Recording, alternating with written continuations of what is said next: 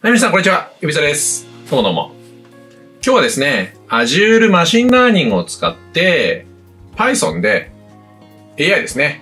この辺の話題をやってみたいと思います。まあでも、初学者向けといいますか、チュートリアルを、えー実際にやってみて、その通り進めてみるという形でやりたいと思います。Azure で AI、Python 使ってみたいなところで人気の分野だと思いますので、そこの、まあ、一歩目の足がかりみたいなところにしていただけるといいのかなというふうに思っております。では早速やってみましょう。で今回やってみようと思ってるのはこちらのチュートリアルですね。Azure マシンラーニングのドキュメントの中のチュートリアル。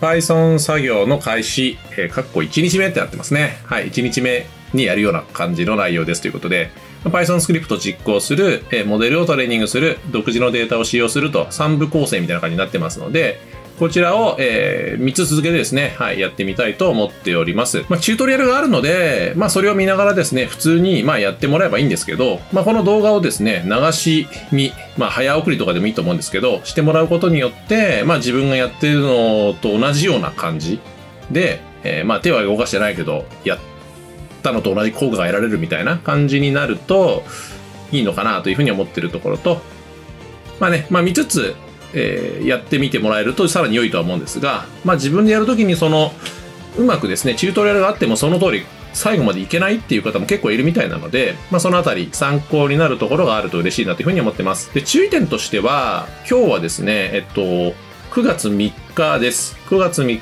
日に土曜日か。土曜日休みの日にやってるんですけど、記事の更新日時がですね、え8月31日となっていて、かなり新しいので、最終更新日時がついこの間なので、なので全部最後までできるんじゃないかと思ってるんですが、結構ですね、こういうドキュメントのチュートリアルは、バージョンとか環境のその時の状態に依存することが多くて、ちょっと古い記事とかだったりすると、え今はもう動かないみたいなですね、ことがあったりします。で、このサービス自体もどんどん変わるでしょうし、とかですね、あの、チュートリアルやろうと思ったらなんかちょっと違うんだけど、みたいな感じで詰まっちゃうってことがありがちです。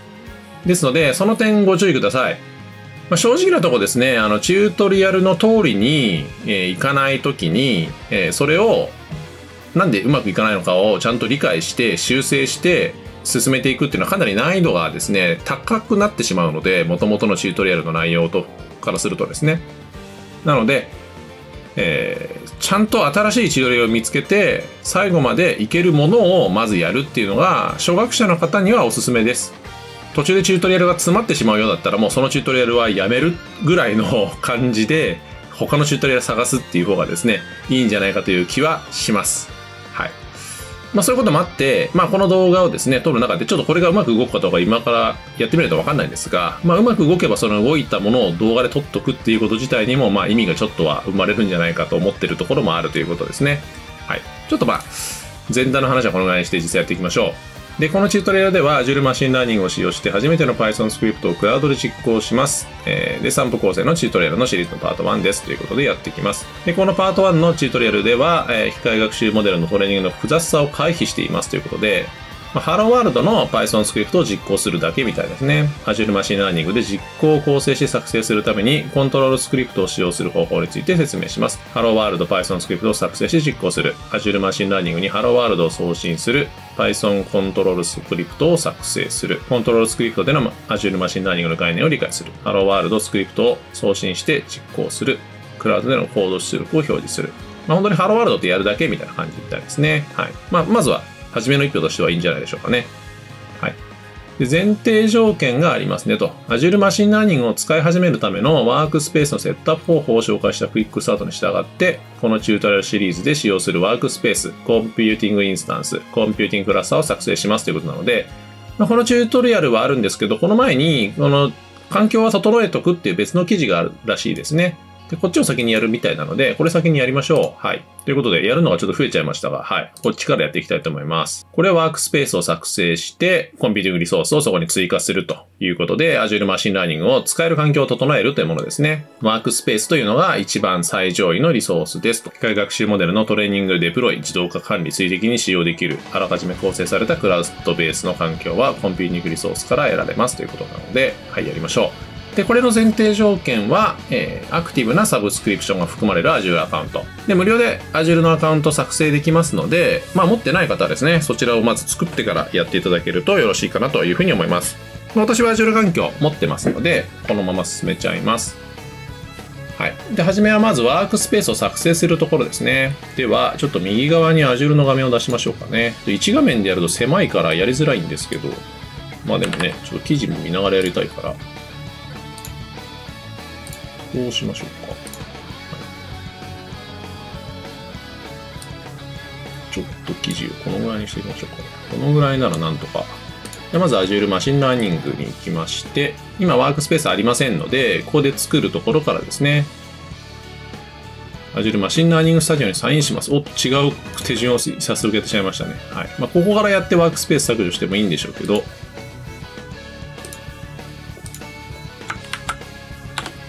ml.azure.com というですね、URL が Azure マシンラーニングスタジオになってますので、まあ、こっちからワークスペースを作っていくということもできるわけですね。はい。えー、英語環境になりました。えー、英語のままやってもいいんですけど、まあ、日本語の方がね、あの、まあ、日本語で私喋ってますので、日本語の方がいいと思います、日本語にちょっと切り替えますね、設定から。リージョンフォーマットも日本語にしておきましょう。はい。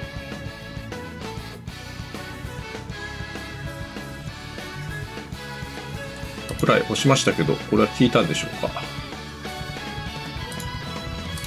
聞いてないけど、ちょっと F5 で更新しまして、あ、日本語になりましたね。F5 が必要みたいですね。そして、え、ディレクトリの切り替えっていうですね、え、ものも出てますね。まあ今ないので作りますか、あるいはディレクトリ切り替えますかってなってますね。まあディレクトリが何者なのかとかそういうところは、え、難しい概念にはなってきますので、また別の動画 出してますので、そちら見ていただければと思いますが、概要欄に貼っときますね。ディレクトリの切り替えってやると、え、自分が所属しているディレクトリが出てきますので、まあ、意図しているものをちゃんと選んでおくっていうことが必要ですね。で、1個しかない方は、もうそこで大丈夫ですということですね。はい。そしてまた英語になっちゃいましたね。これ、英語になっちゃう仕様なんですかね。はい。じゃあ日本語にしまして、あ、今度は更新されました。はい。そして、はい。これで大丈夫ですね。じゃあワークスペースの名前を決めたりとかですね、この作るっていうところをしていきたいと思います。ここでやって、それでワークスペースに移動するっていうやり方もありますが、まあ、このチュートリアルではこっちから作るようになってますね。どっちでやっても一緒です。こっちでワークスペース作成するってやっても、ここでね、ワークスペース名とか、リージョン、ストレージアカウントを決めるんですけど、まあ、やってることは同じです。画面が違うと、やってること違うっていうふうに思う方、ちょっといる感じがしますけど、まあ場所で画面がどうなのかっていうことよりは、そこで何をしてるかっていうことの方が大事ですね。まあ、画面は違っても裏で同じ場所に同じ命令を飛ばしていれば同じ結果になるわけですからね。というわけで、えー、こちらでやっていきます。じゃあこっちはちょっと消しておきましょうかね。はい。では、えー、ワークスペースの名前、何でもいいみたいなので、はい、じゃあ YouTube とかにしてみましょうかね。はい、サブスクリプションは適切なものを選ぶということで、私はこれで大丈夫です。で、リソースグループの名前。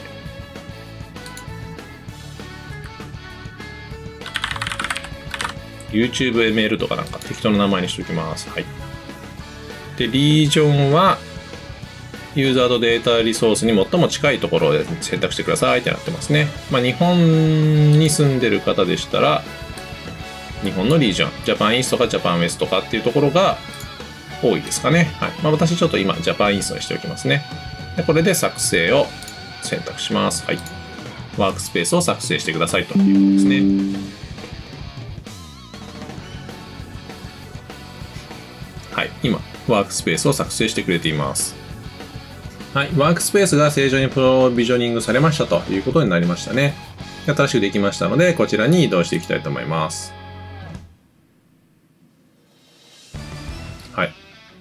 今日の機械学習の目標は何ですかと聞かれましたので、えー、答えてあげないということでごめんなさい。はい。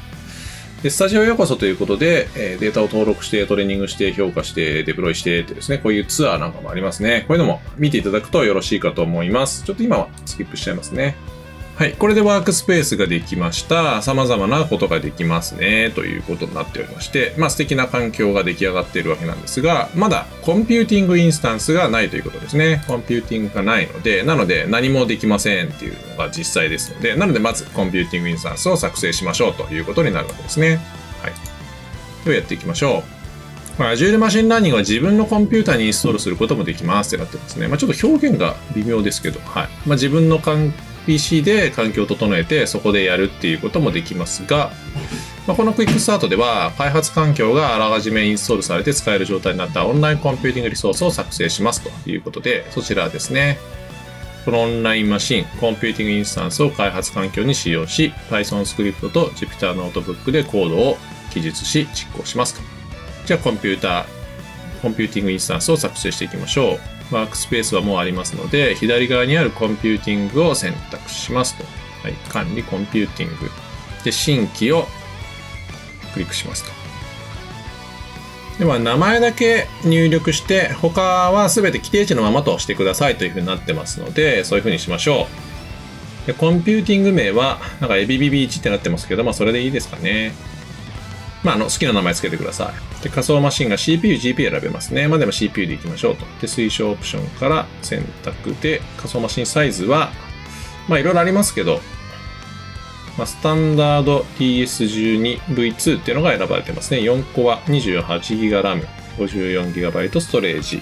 まあもっと安いのでいいんじゃないかという気が正直しますが、しますが、まあちょっとここはケチって動きが遅くなるのもあの動画の撮影上良くないので、まあ、このままいきたいと思います。はい。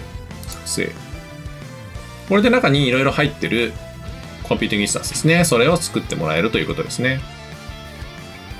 はい。作成されて実行中になりましたね。アプリケーションもなんかいろいろ入ってますということで、なんか素敵な感じですね。で次はコンピューティングクラスターを作成します。まあ、こっちは開発するところっていう感じで、コンピューティングクラスターの方は、まあ、トレーニングを大規模にやるところって感じですかね。このチュートリアルでは0ノードから4ノードの間で自動スケーリングするコンピューティングクラスターを作成するということになってますね。はい。コンピューティングクラスターのタブに行きまして、新規を選択。で、新しいコンピュータクラスターを作成するんですけど、えー最初のページは全て既定値のままで次へ押してくださいというふうになってますね。はじめのページに書かれているのは、えー仮想マシンの選択で、まあ、場所ですね。場所はまあ、このワークスペースを作ったのと同じリージョンに作られるみたいですね。で、バーチャルマシン層。でこれは専用なのか、低優先度なのかっていうことで、低優先度の仮想マシンは、まあ安いやつですね。ジョブが割り込まれるかもしれませんよ、みたいな感じになってますが、まあ値段を安く抑えたいんだったら低優先度の方が安いので、ちょっとこのチュートリアルと違うんですけど、えー低優先度にしちゃいます。はい。で、仮想マシンの種類で CPU か GPU かも選べますし、まあ、サイズなんかも選べますねと。すべてのオプションからやるともっといっぱいありますね。推奨オプションはこちらということで、低優先度にするのとで、どんぐらい違いますかね ?0.23 時間あたりですね。1時間あたり0.23ドルなのか、0.05ドルなのかみたいな感じになってますね。まあ、低優先度で私言っちゃいたくなったけど、まあちょっとこれ YouTube で撮ってるから専用にしておきましょうか。まあ普通自分でやるんだったら私絶対低優先度で選びますけどね。はい。まあ今ちょっと専用にしておきますね。で、ここでは、えーコンピューティングの名前を付けるとこに、チュートリアルでは CPU でやってるので CPU クラスターという名前を付けてくださいってなってますね。ちょっとこれは例に習っておきましょうかね。で、えー最小ノード数は0。まあ、0からできるのはいいですよね。使ってないときは課金されないということで。で、最大ノード数を4にしますという風になってますので、まあ別に1でもね、チュートリアルとかいいんですけど、まあ普段私だったら1にしますけど、はい、まあ今日は4にできませんね。えーまあ今日は3までにしておきましょうか。あ1個を超えるノードにスケールアップするにはサブスクリプションコータが不十分ですってなっちゃいましたね。コータを見てみると、クォータありますね。これで、どの仮想マシンのファミリーだったら、いくつまでだったら、何コアまで使えますかみたいな、クォータの制限があって、でそれをクォータをこうちょっとね、要求するみたいな、上げさせてくださいみたいなこともできるようになってますね、ということですね。で、今回はスタンダード DS11V2 ってやつですので、まあ、クォータ別に上げなくてもいいんですけどね。どれですか？どれに該当するのはよくわかりませんが。DS、DS11V2、D の V なのか ?DS、これか。これですね。多分。これですね。YouTube そうか。これちゃんと書いてありましたね。はい。ん？これ違うか。これコンピューティングリソース初めに作ったやつが列挙されてますかね。4コアが使用されました。2コアが使用可能。うーん。まあ、これなんだと思うんですけどね。やるとサポートリクエストで、まあ、クォーターを上げてくださいみたいな感じで、 Machine Learning のサービスですね。クォータ不足とかにしておきましょうか。はい。まあ、これで上げてくださいって言えば、まあ、上げてもらえるんであれば上げてもらえるということですね。自分の使いたいリージョン。 Japan East。V4 シリーズ。シリーズがいまいちどれがどれに対してなのか私分かりにくいなと思いますが、DS11V2 だから DS の V2 ですか、これね。これか。DSV2 シリーズ。今6のところを10とかに上げさせてくださいって、一応お願いだけしてみましょうか。お願いだけね。まあ、このぐらい上げさせてくださいということで、お願いをしてみます。高度な診断情報の収集を許可して、メールで連絡してくださいと。サポート言語は、まあ、日本語の方がいいかな。日本と。はい。こんな感じで制限、クォーターを増やしてくださいみたいな要求を出すことができます。まあ、これが受け入れられるのか、られないのか、受け入れられないのかっていうのは、まあ、その状況にもよりますし、アジュル側の状況にもよるし、まあ、その誰が出したのかみたいな、えー、ことにも依存するということにはなりますね。まあね、Azure も商売ですのでというところがありますと。で、要求出して、えっと、すぐにその場で増えるようなパターンの時もあったんですが、まあ今そうじゃないので、えー、増やせませんね、すぐにはね、ということで。なので、えー、できるところまでにしときましょう。ということで、まあ0から1に、えー、今回しちゃいたいと思います。スケールダウンする前のアイドル時間を、まあ、2400に変更しますと書いてありますので、まあ、一応受け入れましょうか。ね。使ってなかったら、2400秒使ってなかったら、1で動いてたとしても、あ使ってないなって言ったら0になるという感じになりますね。はい。SSH アクセスは有効にしないでいいですよってことみたいなので、そのままにしましょうかね。仮想ネットワークの有効化、マネージ相手を割り当てるなんていうことも詳細設定では出てきますが、まあ、今回のチュートリアルは作らないということですので、このままいきたいと思います。で、もともと4に、えー、してくださいってなってるのに1だったらもうこの時点でダメなんじゃないかっていう気もしないでもないですが、まあね、単純にこれは遅くなるだけのはずなので、まあ、これはいいことにしましょう。はい。状態が成功しましたになりましたね。まあ、とはいえまだ何もジョブ投げてないので、0個のノードになっているという状態です。では、えー、これで準備できましたので、えー、次の項目に行きたいと思います。はい。次はスタジオのクイックツアーってなってますね。まあこれはどこで何ができますよみたいなことをこう簡単に説明してくれてるというところですね。ノートブックセクションでは Jupyter ノートブックを作成し、サンプルノートブックをコピーして、ノートブックや Python スクリプトを実行できます。で、自動 ML ではコードを記述せずに画面の指示に従って機械学習モデルを作成できます。で、デザイナーでは、あらかじめ構築されたコンポーネントを使用して、ドラッグドロップでモデルを作成できます。データとかジョブとかコンポーネント、パイプライン、環境、モデル、エンドポイント、コンピューティングがデータストアされたサービスとかなんかいろいろありますね。はいとでは、まあ、いろいろとアセットがありますよと。ジョブを実行する過程で生成したアセットを追跡できます。で管理セクション。は先ほどコンピューティングリソースを作成する際に使用しました、えー、このセクションでワークスペースにリンクするデータや外部サービスを作成したり管理したりすることもできますということですねまあねこういう要素がありますよっていうことではい大体理解しまして診断を実行することができますっていうのになってますね診断これ画面上ではどこやるのかちょっと私やったことありませんが、わかりませんが、まあそういうのもあるんだなということで、はい。問題があったらそこで検証してくれるっていうことですね。ではこれで、えー、もう次はね、リソースクリーンアップするで消す手順に入っちゃってますけど、これを使ってやっていきたいと思いますので、一旦このクイックスタートのワークスペースリソースを作成するというところはこれでおしまいにしたいと思います。動画も一旦区切りましょうかね。ここで一旦動画区切って、また、えー、次のですね、ところはまた次の動画でやりましょうと。日本語おかしいな。はい。ということで、まあちょっと次の動画はですね、はい。まあまだ準備しかしてませんので、また次の動画もご覧いただければというふうに思います。よろしければ、えー、ちょっとですね、動画が出てくるのはちょっとタイミングずれると思いますので、ぜひチャンネル登録して次の動画もお待ちください。では、ご視聴いただきありがとうございました。また次の動画でお会いしましょう。さよなら。